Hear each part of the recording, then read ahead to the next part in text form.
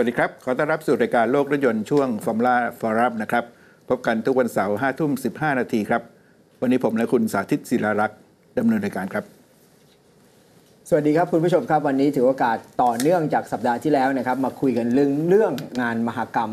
ยานยนต์ที่เจนีวากันนะครับ ว่าสัปดาห์นี้เราจะมีอะไรมาพูดคุยกันบ้างครับ ครับ เดี๋ยวก่อนจะติดตามเรื่องรถใหม่ ๆ นะครับ มาดูคำถาม ให้ท่านให้ท่านร่วมสนุกในวันนี้ก่อนครับ วันนี้ถามท่านผู้ชมว่ารถ SUV ที่วิ่งเร็วที่สุดในโลก คือรถอะไรครับต่อเข้ามาทาง inbox fanpage ของเรานะครับ ภายในวันที่ 21 เมษายนนี้ครับผู้ตอบถูกและโชคดีจากการจับฉลาก 10 ท่านนะครับ จะได้รับของที่ระลึกจากงานเจนีวาบาร์โชว์นะครับ เป็นถุงผ้าใบนี้นะครับครับ อันนี้สั่งสั่งตรงมาเลยนะตรงมาจากสวิตเซอร์แลนด์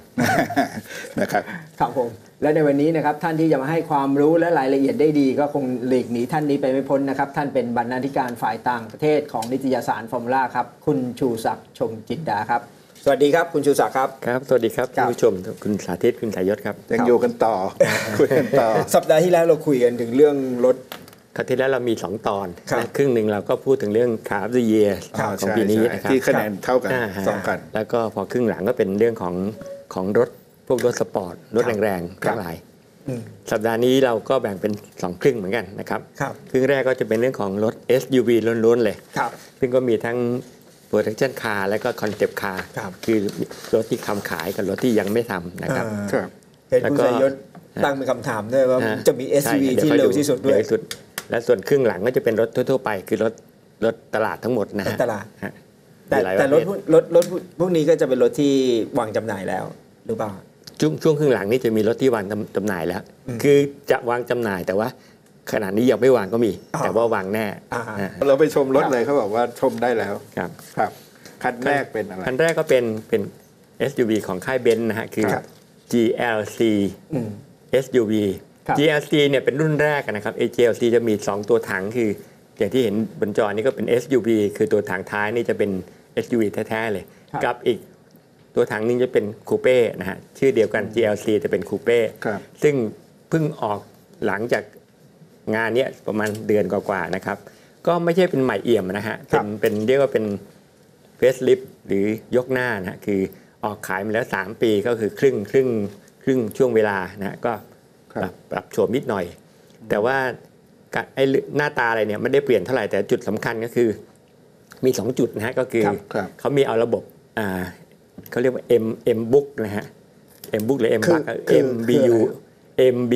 U X เป็นระบบอ่าครับคอนเนคชันระหว่างคนขับกับตัวรถเนี่ยนะฮะอ๋อครับเป็นช่วงพวกอะไรระบบ infotainment อะไรต่างๆเนี่ยครับคือสั่งการด้วยเอามือแตะมือสัมผัสก็มีนะครับใช้อากับกริยา ก็ได้นะหรือว่าอืมใช้เสียงสั่งก็ได้นะฮะครับกับอีกอันหนึงก็คือเครื่องยนต์เบนซินทั้งหมดเนี่ยนะครับเขาเปลี่ยนยกชุดเลยครับแล้วก็เอาเบนซินชุดใหม่ ซึ่งเป็นเบนซินที่เรียกกันในทางวิชาทางศัพท์ทางยานยนต์เนี่ยว่าเป็น mild hybrid นะฮะก็คือมาไฮบริดไม่ไฮบริดเต็มที่อะคือครับคือเอาเครื่องยนต์ทำงานโดยที่มีมอเตอร์ไฟฟ้าคือช่วยตัวเล็กๆ มาช่วยช่วยนิดหน่อยมาช่วยครับนิดหน่อยนะฮะอืมก็ที่ฟ้าเล็กก็เพราะแค่ แค่ 10 กิโลวัตต์หรือประมาณ 14 แรงม้าเท่านั้นเองนะครับครับครับแล้วก็ข้อดีของมันก็คืออ่าช่วยประหยัดน้ำมันด้วยนะครับครับครับคันที่ 2 ก็เป็นของค่ายสโกด้าชื่อว่าสโกด้าคามิกนะฮะเอามาให้ดูเพราะว่าสโกด้านี่รู้สึกที่บ้านเรานี่หายหายๆไปนะฮะหายไปแล้วเคยเคยขายตั้งแต่รุ่นฝาเบียร์นั่นนะครับครับหลังๆก็หายไปก็เอามาให้ดูนะครับครับคือสโกด้าเนี่ยเขาชอบตั้งชื่ออ่ารถ SUV เขาเนี่ยครับไอ้นำหน้าด้วยตัว K นะฮะครับอืมอันนี้ก็เป็นรุ่นที่ 3 ก่อนหน้าเขามี Kodiaq นะฮะแล้วก็มี Karoq นะฮะใช้ตัว K นะคราวนี้ก็เป็น Kamiq คามิกนะครับครับก็เป็นรถขนาด subcompact นะฮะคือครับยาว 4 เมตรเศษๆนิดนิดเดียวนะฮะแล้วก็ใช้กลไกต่างๆเนี่ยร่วมกับรถในเครืออีกอย่างครับ SEAT Arona หรือว่า Volkswagen T-Roc T-Cross นะฮะใช้ใช้ใช้ชุดเดียวกัน แล้วก็ตอนนี้ยังมีเฉพาะขับล้อหน้านะฮะ ต่อไปคงจะมีขับทุกล้อด้วยแต่ตอนนี้ยังไม่มีนะคครัรับบก็มีทั้งเครื่องเบนซิน ซึ่งตอนนี้มี 3 ขนาดนะครับ แล้วก็มีเครื่องดีเซลหนึ่งขนาด แล้วก็บอกว่าอดใจรอนิดหนึ่งก็จะมีรุ่นที่ใช้ CNG ให้ให้ให้ใช้ด้วยครับคือเป็นไอไอ CNG เหมือนบ้านเราที่เราเรียกอ่า LPG NGV เราเรียกกัน NGV แต่ว่าจริงครับที่ถูกก็คือ CNG เนี่ยคือครับ Compressed Natural Gas นะครับครับครับ แล้วก็เกียร์ก็มี 2 อย่างนะครับ คือ เกียร์ธรรมดา 6 จังหวะ กับเกียร์อัตโนมัติคลัตช์คู่ 7 จังหวะนะครับ ก็เป็นเป็นหน้าตาก็ดูดีนะฮะแล้วก็ขนาดก็กระทัดรัดรถขนาดเนี้ย SUV ขนาดเนี้ยกำลังขายดีนะฮะในยุโรปนี่ครับเรียกว่าแทบจะทุกเจ้าอะฮะกำลังครับทำรถอันนี้ก็คือรุ่นรถเล็กๆเนี่ยรุ่นใหม่เลย รุ่นใหม่เลยฮะนี่เรียกว่ายังไม่เคยทำมาก่อนเลยอ๋อครับนะครับสโกด้าก็เพิ่งทครับำเนี่ยเป็นเป็นรุ่นแรกนะครับเป็นแบบที่3โอ้อันนี้หน้าตา อันนี้แพงนะหรูมาเลยที่เราแพงที่เราตั้งเป็นคำถามไว้นะฮะครับว่ารถ SUV อะไรที่วิ่งได้เร็วที่สุดในโลกนะโอ้โหเนี่ยผมไปดูนะฮะครับคนคนที่อยู่ค่ายว่าคุยจังโอ้คันนี้นี่เร็วมากนะครับ คือครับเร็วกว่า Ferrari อีกนะครับอืมเออก็อาจจะเป็นเป็นอย่างที่เขาว่านะ เพราะว่าครับแฟรี่คงยังไม่ได้เหยียบเต็มเกยร์นะคือคันนี้เขาบอกว่าได้ได้ได้เท่าไหร่ได้306 กิโลเมตรต่อชั่วโมงอ๋อก็ต้องถือว่าเร็วจริง ๆ นะคครัรับบครับ SUV คันใหญ่นะฮะแล้วก็วิ่งได้ตั้ง 306 นะครับ ก็เป็นอ่า ไม่ใช่ใหม่เอี่ยมนะฮะความจริงก็คือเราคงได้ดูกันแล้วในรายการนี้ก็คือ Bentley Bentayga นะฮะซึ่งมีทั้งเครื่องเบนซินและและดีเซล แต่รุ่นนี้พิเศษเลยคือใส่เครื่องแรงมากเลยนะครับ เป็นเครื่อง twin turbo อ่าฉีดเชื้อเพลิงโดยตรงนะครับ ซึ่งประมาณ 6 ลิตรเนี่ยนะฮะ แล้วก็12อ่า W 12 สูบนะครับ แรงจริง ๆ ครับคือ 467 กิโลวัตต์นะครับ ถ้าเป็นแรงม้าก็ 635 แรงม้านะ เพราะฉะนั้นที่เขาบอกว่าวิ่งได้